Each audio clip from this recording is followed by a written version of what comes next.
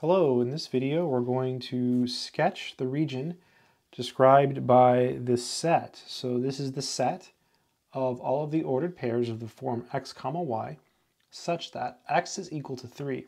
So let's start by graphing the xy plane. So I've got my little ruler here to help me graph.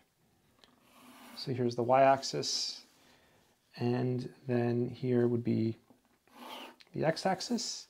So let's go ahead and label our axes. So x, Put little arrows here, Y, and then a little arrow down here.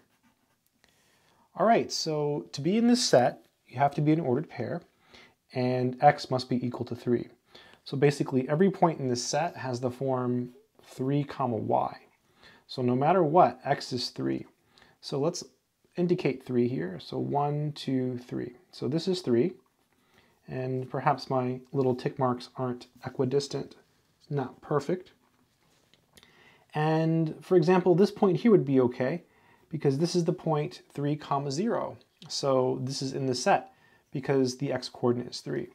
So would this point here because the x coordinate is 3. So would this point here and this point here. Basically, every single ordered pair where the x coordinate is 3 is in this set. So I'm going to take my trusty ruler and draw what I hope is a straight line.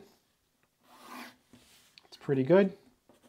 And this would be the line x equals 3. So this set is basically the line x equals 3. So all of the ordered pairs in this set are points on this vertical line.